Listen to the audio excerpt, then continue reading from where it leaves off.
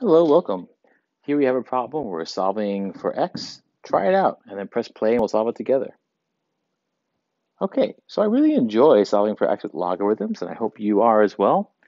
In this case, we're subtracting two logarithms. Okay, what does that tell me? It tells you you want to use the laws of logarithms to rewrite this as the log base 8 of x plus 5 over x minus 2 and I'm just getting that from this, that the log of A minus the log of B equals the log of A over B. Okay, and here we can see that that would have to equal 1. And you might feel stuck at this juncture, but remember that you can always use the definition of a log. This just means 8 to the first power equals this thing right here.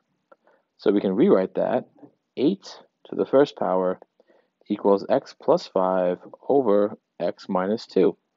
Then I would just multiply both sides by x minus 2. Let's see what happens. That would get us 8x minus 16, right?